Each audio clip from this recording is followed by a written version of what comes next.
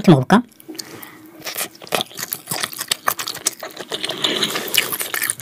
생간.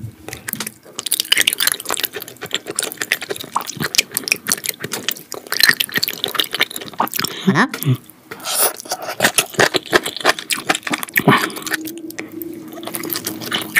음.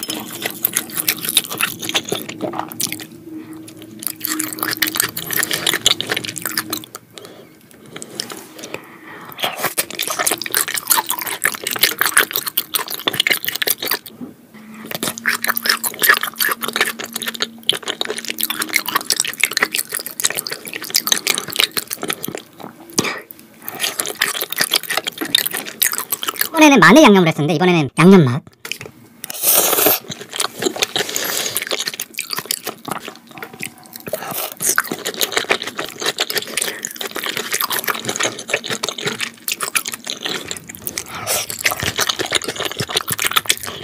아.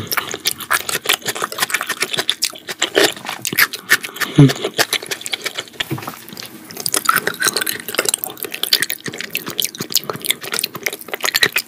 아 완전 단짠이야 이거.